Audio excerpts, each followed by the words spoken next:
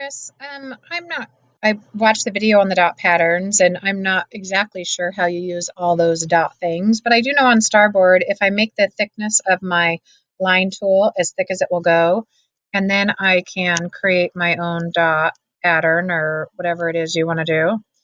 And then if I select that dot pattern, I can, sometimes I have to group it first, and then once it's grouped, I can infinite clone it, and then I can have it all over the board. And again, kids can talk about um, how they would group that those numbers and things like that. So if you're wondering how to make those dot patterns, I can't make it disappear the way the other um, templates did, but I can infinite clone it.